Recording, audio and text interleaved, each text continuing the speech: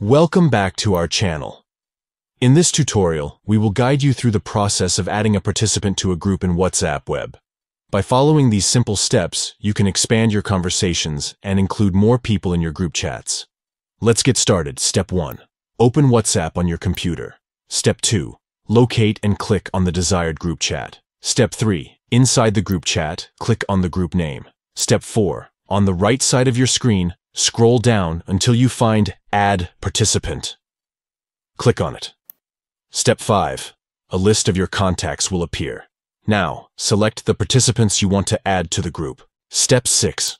Once you've made your selections, press the check mark icon to confirm and add them to the group.